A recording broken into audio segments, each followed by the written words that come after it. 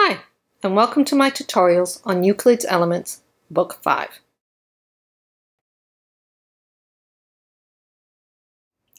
This video presentation is going to be on Proposition 14 of Book 5.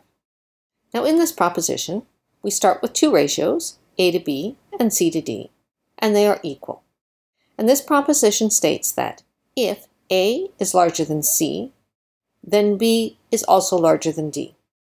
Or, if A is equal to C, B is equal to D. And finally, if A is less than C, B would also be less than D. So here it is, written out mathematically. This is what this proposition is about. So for this proof, we're going to start with A greater than C.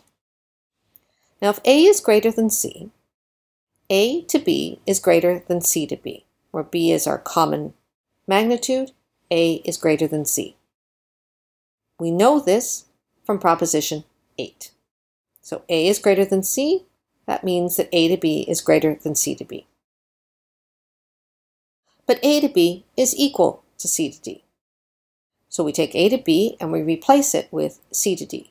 So C to D is greater than C to B. And we know that we can do this by proposition 13.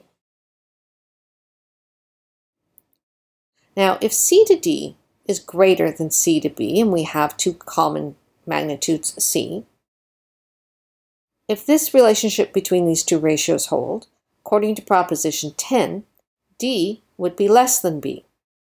Or inversely, B would be greater than D.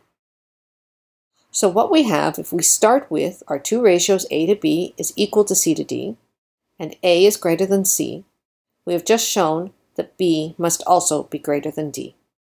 So that is the first part of this proposition. Now Euclid leaves it to the reader to follow the same steps here to show that if A is equal to C, then B is equal to D. If A is less than C, B is less than D.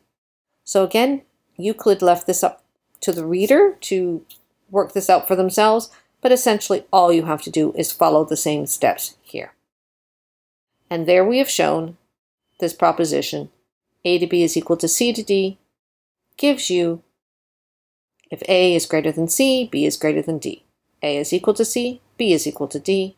And finally, if a is less than c, b is less than d.